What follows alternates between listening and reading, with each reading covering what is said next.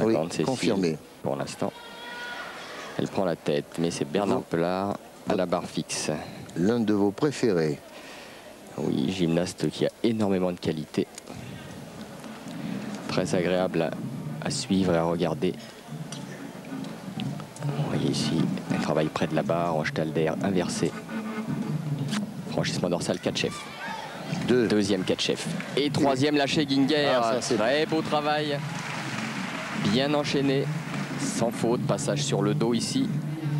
A encore travaillé en stalder, jambes écartées, mais du tour cubital. Un grand tour dorsal, changement de face. Et maintenant, c'est la sortie. Voilà, double arrière tendu avec une vrille. Ah, c'est parfait, Bernard Pelard. Vraiment bien, bien, bien. Beau finish pour Bernard également. Alors je peux vous dire qu'en finale des championnats du monde, on voit guère mieux. hein. Il faut quand même euh, le dire de temps en temps parce que c'est pas un sport chronométrique. Alors évidemment, euh, on se dit ah bah tiens en gym euh, ils sont bons, ils sont on sait, mais au championnat du monde en finale, l'exercice à la barre fixe ne présente pas plus de difficultés que celui de Bernard Pelard avec trois